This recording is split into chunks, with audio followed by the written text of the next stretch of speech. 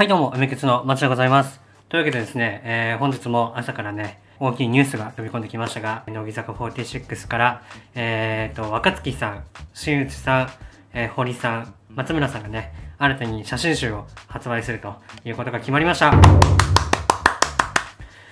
はい、というわけで、えーいや、乃木坂の写真集ラッシュはすごいですね。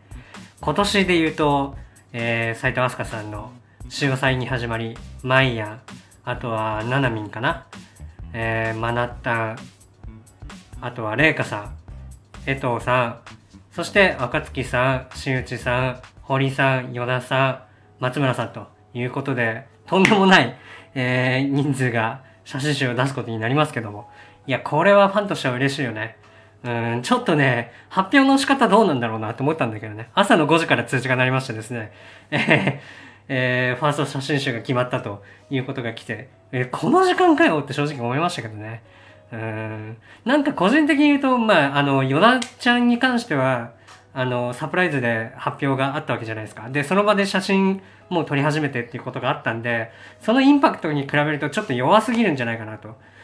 で、なんか、無理やり感出して、こう、まとめて大々的に発表したらちょっと話題になるんじゃないかみたいな、ちょっと裏の、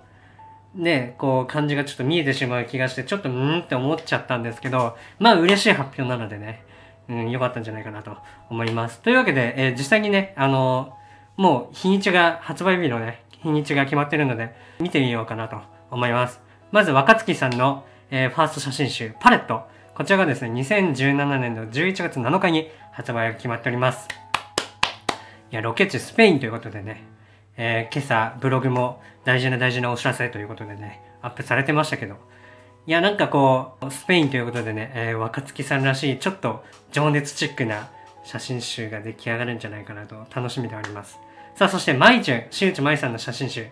えーこちらがですね、11月の14日発売。えーロケ地はタイということで。いや、まいちゅんなんてもうね、大人の色気がすごそうですからね。いや、それも気になるところではありますね。あとは、待望の堀美央奈さん。こちらが11月の24日ということで、えーアメリカですよ。いやー、堀ちゃんの写真集もどんな感じになるかすごい楽しみでありますよね。前からね、発表がありました、与田祐希さん。与田ちゃんは11月28日、えーシンガポールということで。いやー、与田ちゃん、美少女ですからね。どうなるのか。さあ、そして、えー松村さゆりさん。えー、まっちゅんは12月の12日、ハワイということで。いや、まっちゅんなんかもうモデルで活動しますからね。いいのは分かってるんで。それこそ、ね、マイヤーに続き1位を取れるメンバーなのかなと思うので、もうね、連続してメンバーのソロ写真集続きますが、ちょっとね、全員買う人はちょっと、もう破産寸前なんじゃないかなと思いますけども、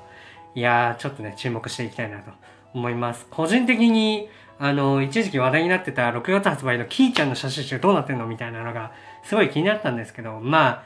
ね、公式の発表ではないので、ちょっと噂だったのかなっていうのもね、あの、感じながら、ちょっとね、今後も随時、また多分ね、あの、ソロの写真集出すメンバーもね、どんどん出てくると思うので、そういったメンバー、ちょっと注目していきたいなと思います。というわけで、今回はこの辺で終わりにしたいと思います。どうも、マッチでした。動画見ていただきありがとうございます概要欄の中から他の動画もぜひご覧ください。チャンネル登録お願いしますゲーム実況もやってますのでそちらもぜひそれではまたお会いしましょう。バイバイ。